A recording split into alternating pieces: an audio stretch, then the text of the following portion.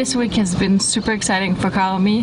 The welder came and he fixed the holes.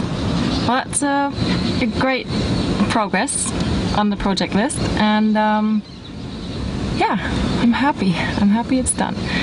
It did take a long time to take the decision whether to weld it or epoxy it and who to use as a welder. In the end, I decided for a um, German guy who lives at the other side of the canal in Panama City. And those people of you who've been to Panama, you might actually know him. He's the father of Eric Bauhaus, who has written the cruising guide Bible for Panama. So people who've been to Panama, they probably know that guy.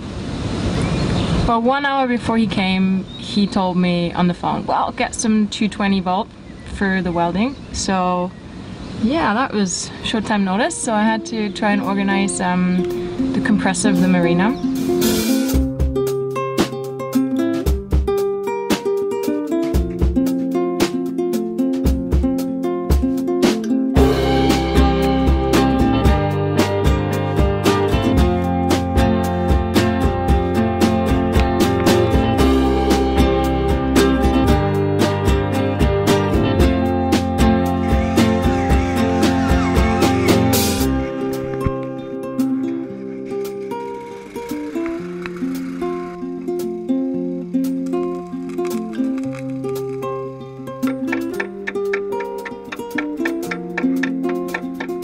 They told me that there'd be gasoline in there for three hours, but eventually, after 10 minutes, I ran out of gas, so I had to organize some more gasoline.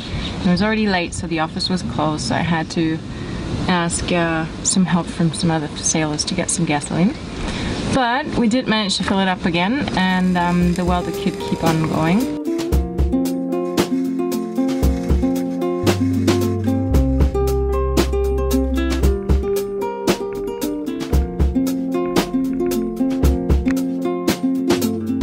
Must have been pretty hard to weld between the keels because the welder kept on, um, well, swearing a little bit.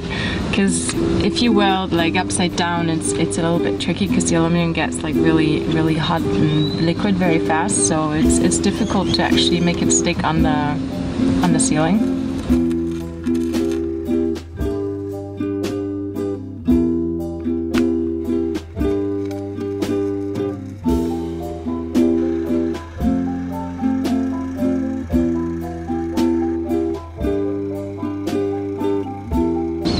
Eventually he closed all the holes and um, at the end of the day we had a couple of beers and just you know talked a little bit because he's a quite interesting guy. He's got lots of stories to tell. And yeah it was nice. And he's gonna come back to actually weld on my anodes um, in about a week or so. So that's great.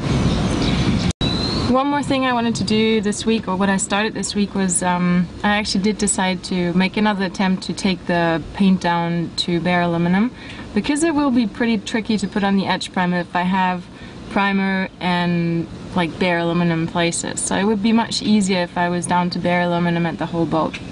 So I bought some paint remover, which is really expensive. It costs like $30 a gallon.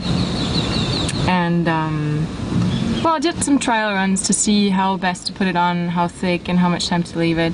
And um, yeah, then I went for the boat.